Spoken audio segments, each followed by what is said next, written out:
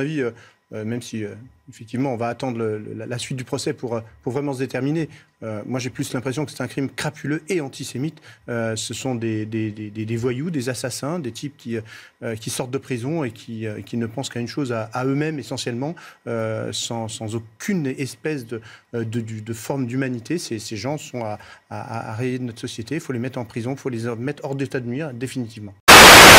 Non, bien sûr que non. La vidéoprotection ne, ne règle pas tout. La vidéoprotection participe euh, de, euh, de, la, de la lutte contre la délinquance. Et pourtant, on s'attarde aujourd'hui, et le ministre a épilogué sur des pseudo-caméras de vidéosurveillance alors qu'on ne parle pas du fond.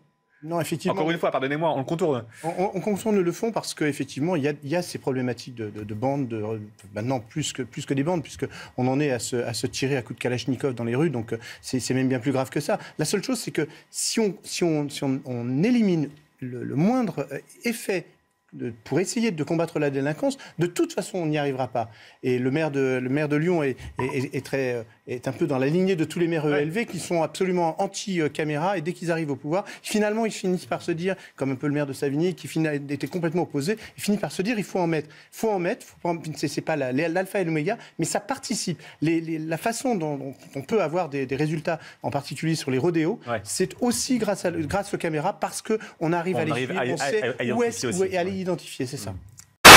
Jean-Luc Mélenchon, il découvre qu'en fait, on n'est pas forcément toute sa vie sénateur, on n'est pas toute sa vie forcément un élu, on en parlait tout à l'heure. Euh, on découvre que ben, la vie normale, c'est aussi euh, le quotidien. Ça peut être aussi le quotidien d'un élu. Un élu a le droit aussi d'être fouillé, à qui on a, demande ses papiers, à qui on demande si son permis de conduire a toujours tous ses points. Euh, Jean-Luc Mélenchon a toujours pensé qu'il était au-dessus de tout le monde. Il l'en montre encore fois parfaitement sur Mais à cette même un occasion-là. très gros problème avec l'autorité. Parce Ah, que quand oui, ce a- n'est pas la police, quand ce n'est pas Ah, la mais- gendarmerie, là, ce sont les douanes. Mais Ou la police il ne-. Mais il, il considère que de toute façon, Jean-Luc Mélenchon est au-dessus de tout le monde. Et il l'a dit, de toute façon. La comme ça. À partir de ce moment-là, c'est pas surprenant qu'il s'étonne qu'à lui on lui demande son passeport, qu'on lui demande éventuellement de, de regarder s'il a quelque chose dans ses bagages. Je suis désolé. Euh, William T, on en rigole ce hein, un petit peu.